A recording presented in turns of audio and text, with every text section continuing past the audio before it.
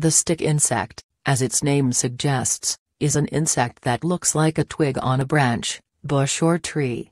This unique identity means that stick insects can be extremely difficult for predators to spot. Stick insects are found in the forests, rainforests and jungles around the world where they live a peaceful lifestyle, expertly camouflaged into their surroundings. There are more than 3,000 different species of stick insect in the world, with more being thought to have not yet been discovered. Stick insects can range in size from just 3 cm to 30 cm in length. Stick insects have long, cylindrical bodies, that are stick-like in both shape and color.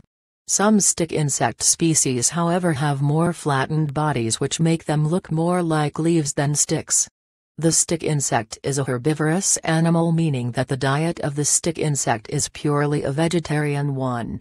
Stick insects mainly feed on leaves and other green plants, along with the odd berries or fruit. Due to their small size, stick insects have numerous predators in their tree-surrounded environment, if they can be seen that is.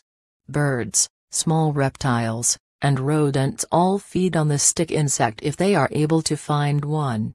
After mating, the female stick insect lays up to 1,500 eggs which are cleverly camouflaged to look like plant seeds. The eggs of the stick insect are able to lay dormant for months before the larvae begin to hatch out of the eggs. When the stick insect larvae first hatch, they already closely resemble an adult stick insect.